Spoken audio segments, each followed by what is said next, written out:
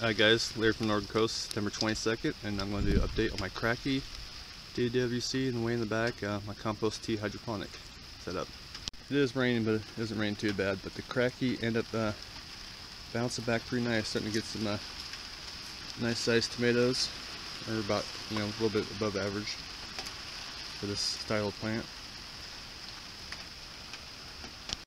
The roots look kind of nasty, but once I started keeping the water level down about two inches from the bottom of the bucket, uh, the plant really responded.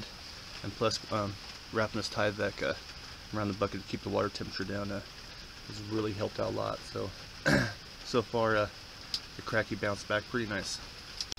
This is the DWC. I'm getting ready to go through my second batch of uh, tomatoes. These are determinate Siletz uh, tomatoes.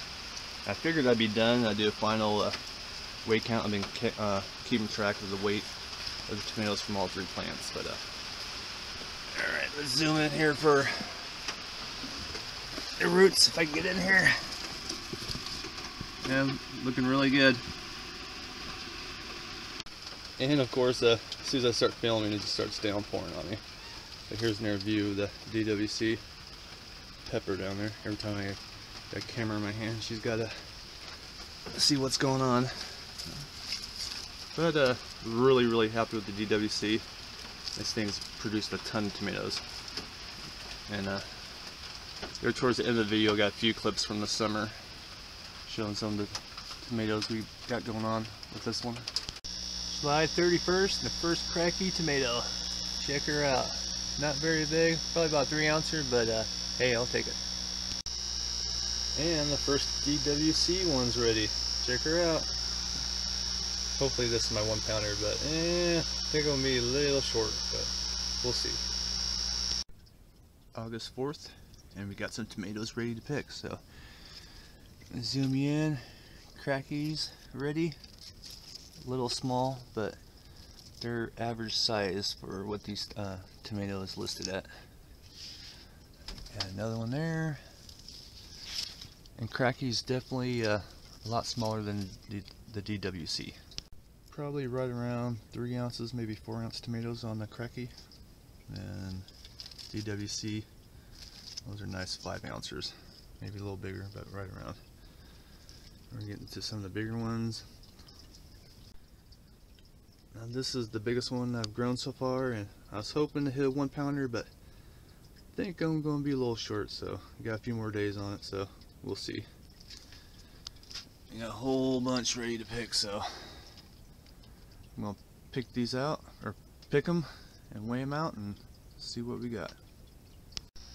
Alright, there's my first harvest. Here on the left, have my Kratky. These are averaging right around three and a half ounces. The DWC are averaging right around seven, some close to eight ounces.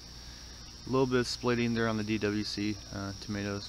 I heard that's common, but uh, man, I'm really impressed with the DWC.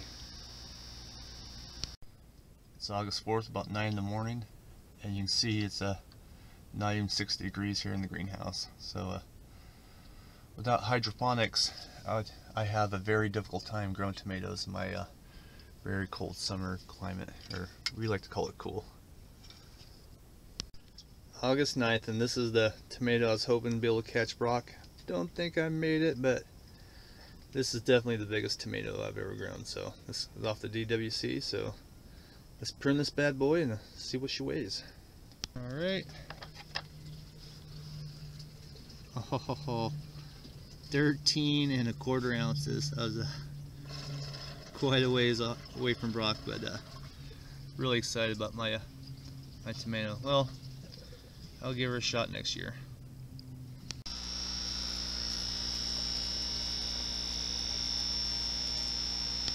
Now this is the compost tea hydroponics and uh, it's struggled at best. It's starting to bounce back. Um, starting to get a few more flowers. I only harvested uh, 10 tomatoes off this guy and uh, it's just too late in the year. It's not going to be able to, the fruit isn't going to have enough time to ripen here. So I'm going to go ahead and pull this plant. I'm going to take a, take a look at the roots. Alright, we got her outside and uh, it doesn't look too bad. It actually bounced back pretty uh, pretty nice, but it's just too late in the season. It's just uh, I'm not gonna have time to get the be able to harvest the fruit. I'm thinking so, and plus uh, I'm worried about see that uh, fungus and stuff going on. I really don't want that spreading to my other tomatoes, so she's got to go. All right, let's take a look roots and see how uh, how she did. Kind of nasty looking. but, I mean, the roots look semi-white other than the brown brown tint, brown stain from the compost. The roots aren't near as big as the uh, the regular hydroponics. Um, my DWC have a big old ball growing there. Alright, there's the water. Looks a little nasty, but no smell. I haven't did a uh, water change in over a month. I just kind of kind of want to see if anything uh, end up on the bottom here. So let's get rid of some of this water.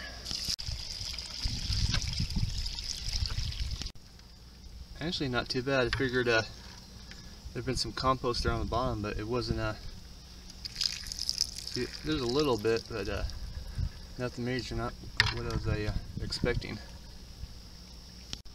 I tried this with lettuce this year with my li little uh, lettuce tote and actually did pretty good. So, and I actually uh, figured I'd get better results than what I did. You know, like I was saying earlier, I only ended up with uh, with 10 tomatoes off this, and uh, compared to my hydroponic system, uh, the DWC buckets, and this wasn't even nowhere close. So uh, this will probably be the last year. I might try it again for, for tomatoes, anyways, but. This will probably be my last year with compost tea for uh, trying to grow tomatoes in them. Well, I was hoping this was going to be my last video and I was going to do a final uh, tally on how many tomatoes each one grew and the weights on it, but uh, this thing, both of these buckets really surprised me. They've done pretty darn good, especially the, the DWC. And actually, uh, with these determinates, I ended up with a second harvest, which I've never had before. And I probably got another uh, three weeks before uh, I have to pull these. So, uh, all right, so probably the end of October, I'll shoot a video, give you my numbers, and uh, hopefully everybody's had a really good summer. And uh, take care. Have a good one.